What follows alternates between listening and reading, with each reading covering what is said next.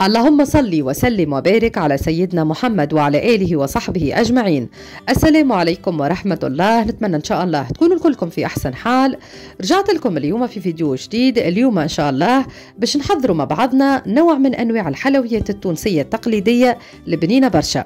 من الوصفات الاقتصادية سهلة ماهلة في طريقة تحضيرها ونستهلكوها بكثرة في شهر رمضان. وصفتنا لليوم هي وذنين القاضي وإلا الدبلة. تو تشوفوا طريقة تحضيرها قديش سهلة باش نشارك معاكم ثلاثة طرق باش نستعملوا عود شجرة باش نستعملوا ال fourchette وباش نستعملوا cercle inox. من بعد أنتم تشوفوا أنهي الطريقة اللي تساعدكم وتستعملوها. بقدرة ربي بعد ما تشوفوا الفيديو هذيا تنجحوا فيها من أول مرة.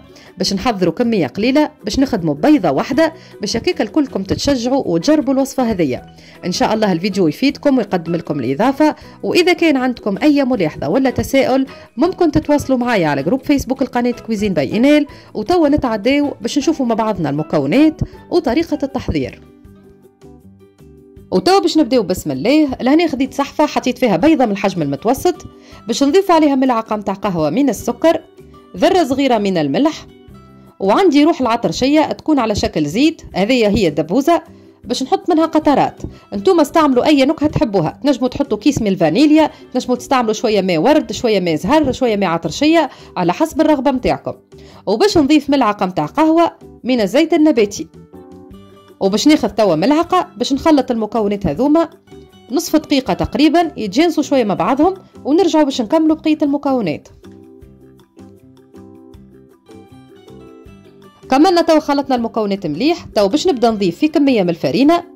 نحطوا بشوية ونلموا العجينة متاعنا مانيش باش نعجنوها جملة نلموها لمين. باش نستعمل خمسة ملاعق متاع أكل من الفرينة. وعينكم ميزانكم تحطوا بشوية وتشوفوا لهنا في الأول حطيت أربعة ملاعق لميت العجينة لقيتها ناقصة شوية كملت لها الملعقة الخامسة. تتحصلوا على عجينة متماسكة ماهيش يابسة برشا وماهيش عجينة تتلصق. باش نزيد توا ملعقة خامسة ونكمل نلم العجينة من غير ما نعجنوها.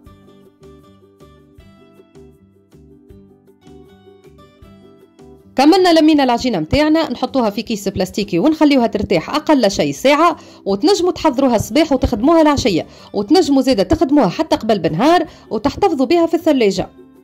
لهنا باش نحضروا الشحور اللي باش نعسلوا بيه وذنين القاضي خذيت طنجرة حطيت فيها 200 غرام سكر باش نصبوا عليهم 100 مليلتر من الماء باش نضيفوا ذرة من الملح زوز ملاعق متاع قهوة من عصير القارص وباش نكمل بقطرات من روح العطرشية تنجموا تستعملوا روح الورد وإلا روح الزهر.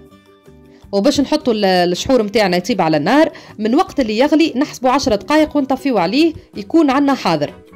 إذا كان باش تعملوا كمية كبيرة الوقت متاع الطهي يولي أطول. لكن أنا لهنا حضرت كمية قليلة دوب العجينة اللي خدمناها. لهنا تو رجعنا للعجينة متاعنا. باش نبداو نحلوها بالنسبة لي أنا خليتها ارتاحت ثلاثة ساعات وأنتم على حسب الوقت اللي باش تحضروها فيه. باش نستحقوا كمية من شيء اللي هو المايزينا أو دقيق الذرة. ولازم تخدموا بنشاي في الوصفة هذه. ما يمكنش أنكم تعوضوا بالفرينة لازم تستعملوا نشاي باش نبدأ توا نحل العجينة لازم نتحصلوا عليها رقيقة على الأخر. تو تشوفوا من بعد الكبر متاع العجينة كيفاش باش يولي. كل مرة تقلبوها وترشوا شوية نشاء باش يساعدكم في عملية الحلين حتى لين توصلوا للسمك اللي حاجتكم بيه. في نفس الوقت راني حطيت الزيت يسخن على النار وأنا قاعدة نحل في العجينة. هذه هي تو العجينة متاعنا كملنا حليناها. تو باش نقطعوها شرائط بالطول. انتوما تتحكموا في الحجم متاع الكعبات تقطعوهم كبار وإلا صغار. العرض هو اللي يتحكم في الكبر متاع الكعبة. باش نبداو توا في عملية الطهي تستعملوا كمية باهية متاع زيت. ماذا بيكم تخدموا في كسرونة صغيرة باش نطيبوا بالكعبة بالكعبة. باش نبداو توا بالطريقة متاع عود الشجرة. هذه عود شجرة جبته من برا غسلته ونظفته باش نستعمله ناخذوا توا كالشريط اللي حضرناه ندهنوه بشوية ما دوب الليش في الحرف متاعو. ونلفوا عليه كالعود. واضحة العملية. من غير حتى ما نتكلم هيك واضحة كيفاش نستعملوه. وباش نبداو توا نغطسوا العود في وسط الزيت الزيت يكون سخون والنار قليلة على الآخر. ماذا بكم تستعملوا أصغر كانون عندكم؟ ونبداو نلفوا في نفس الوقت وإحنا نحركوا. سهلة راهي الطريقة ما فيها حتى شيء. تلفوا وتحركوا.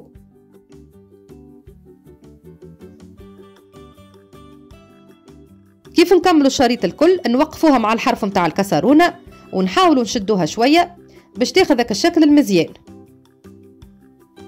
باش نحركوا توا كل عود متاع الشجرة شوية في وسطها باش نخرجوه ونقلبوا الكعبة متاعنا مباشرة. هيك حمارة ملوطة تكمل الطيب على الجهة الثانية. نستقطروها من الزيت وهذه هي عنا حاضرة. سهلة كما شفتوا ما فيها حتى شيء.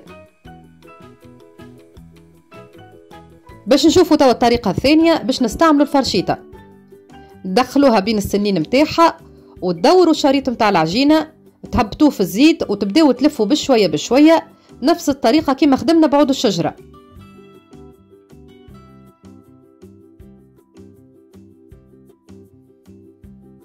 هذه هي تو الكعيبة الثانية حضرت الشكل متاعها زاد حتى هي يجي مزيان. نستقطروها من الزيت نحطوها على جنب ونتعداو باش نشوفوا الطريقة الثالثة. باش نستعملوا ال cercle هذايا inox نحطوه في وسط الزيت. سبقوا شفتوا معايا الطريقة هذه في فيديو سابق. وباش ناخذوا توا الشريط متاعنا نحطوه في الفرشيطة ونبداو ندوروا في العجينة متاعنا بنفس الطريقة كما عملنا في الأول. فقط المرة هذه هاك ال cercle تساعدنا في عملية التشكيل. فيسع فيسع ما تتشكل معاكم الكعبة. هذوما هما ثلاثة طرق ساهلين مهلين. أنتم اختاروا أنهي الطريقة اللي تساعدكم وخدموا بها. فيسع ما تقلبوها على الجهة الثانية. نفس الشيء تو نستقطروها مليح من الزيت نكمل نطيبهم الكل وباش نتعداو نعسلوهم. باش نبداو توا نعسلوهم هذايا الشحور اللي طيبناه الشحور توا دافي ماهوش سخون برشا.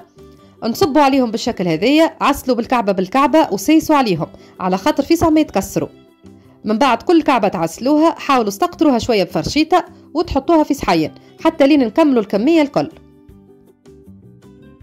هادو ما هما توا الكعيبات الكل كملت عسلتهم. باش نزيد نرش عليهم شوية جلجلين يجيو مزيانين بنين برشا هشوشين يذوبوا في الفم. قد ما نقولكم بنين ما نجمش نوصف لكم. نودكم وما نشهيكم. جربوا الطريقة هذه وبقدرة ربي ترحموا لي على والديا. إن شاء الله الفيديو فادكم وقدم لكم الإضافة.